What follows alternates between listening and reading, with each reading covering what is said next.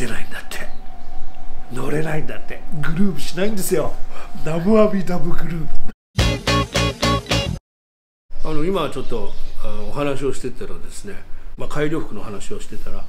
黒黒に木蘭という木蘭って何ですかって話だって木蘭っていうのは色の名前ですね。あの黄色っぽいこうおけさの色があるじゃないですか。あれが木蘭っていうんですけど黒に木蘭というのが、えーまあ、曹洞宗では定番の服装ですが、えー、曹洞宗は地味だよって今言ったら何が地味なんですかって話になったんですけど例えば、まあ、他の宗派では結構キンキラキンの衣あのこうおけさつけたり、まあ、曹洞宗でつけるんですよ。ところが日常なんですかねバーッと坊さんが集まる時にこうこう金蘭の今朝とかでは集まらないんです。やっぱりみんな木蘭なんです。で黒なんです。ところが、まあ、宗派によってはそれが赤だったり青だったりっていうのがあって。いろんな宗派が集まると、えっと、紫の衣だったり、えー、赤い衣だったり、えー、茶色い衣だったりこの衣っていうのはこれの色ですね。はい、でなんで色がいろいろ違うんですけどその投資は全部黒っていうそんな感じなんですね。でこれが100人黒ってなってくるとこれ地味じゃないですか。100人キンキラキンってなったらこれはほらでもそれがいい悪いじゃないですよ。そういうふうに決まりなんだから。もうなんですよ。なのであの曹洞宗はどちらかというと黒い軍団ですね。で臨済宗さんはちょっと茶色に染まってるんで茶色い軍団ですね、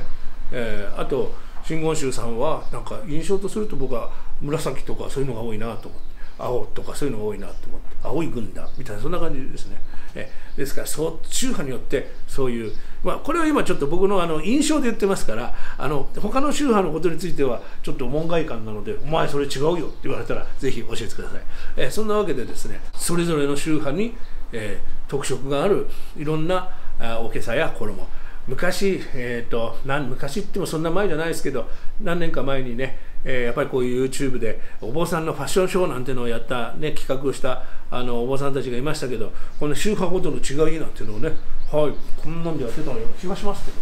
も、はい、こうこうやってね。あのまあそんなわけでそんなのもあったら面白いかもしれません。はい、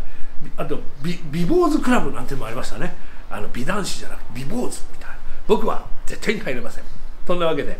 今日は衣衣からちょっとね他の曹洞宗はちょっと地味じゃないかっていう話をさせていただきましたでも宗派ごとによってやっぱり特色があってそれがいいんですよ、ね、曹洞宗はどちらかというとねゆるゆるゆるゆるです。あとやっぱり臨済さんはね臨済さんはガチッとこう固まってる感じがしてなんかあの何ていうんですかねこうやっ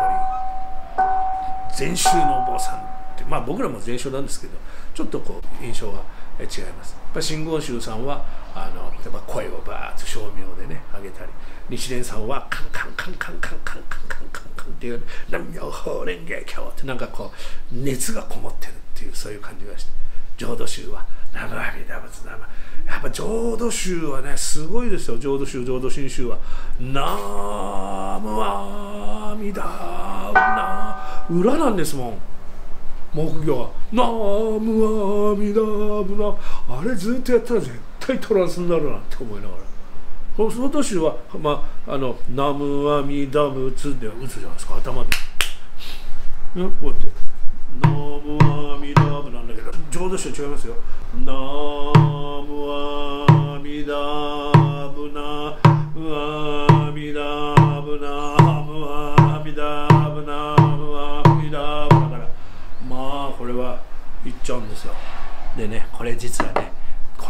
の裏打ちの木魚は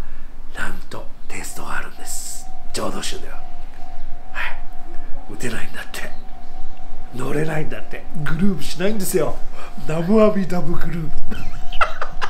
これ浄土宗の人に見られたら笑い怒られちゃうね。だけど絶対あれすごいですよ。もう本当に阿弥陀さんのことをうわーっと引き込まれる感じ。こっち側からお前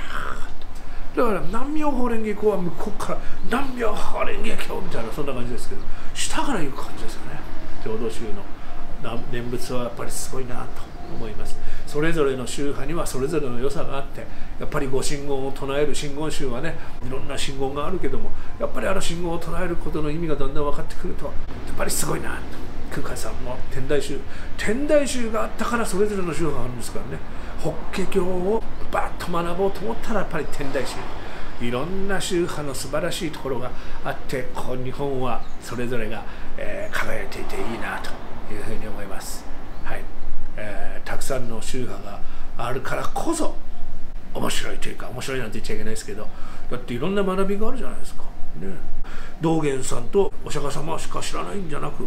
やっぱり親鸞さんも法然さんも日蓮さんも、ね、天台さんも空海さんも最澄さんもいっぱいいてそういう方々がぐーっといて何百年も続いているというのが面白いなと思いますけどもまだ僕が知ってるのはほんのちょっとこのねガンジスのあの砂ぐらいですね。これはまあまあまあこれから何何百年僕が生きててもたどり着けないかもしれないな。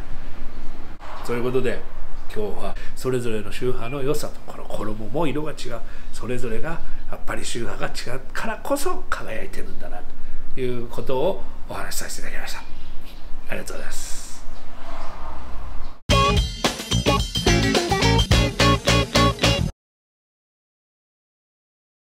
ウルトラ J チャンネル。今日はこういうお話をさせていただきました。ぜひチャンネル登録をお願いします。じゃじゃ漢字財宝札4時半に腹満たじ証券語音海空道一切空やシャリシ式風一空空風意識式即税空空即税式重創業式薬部尿税。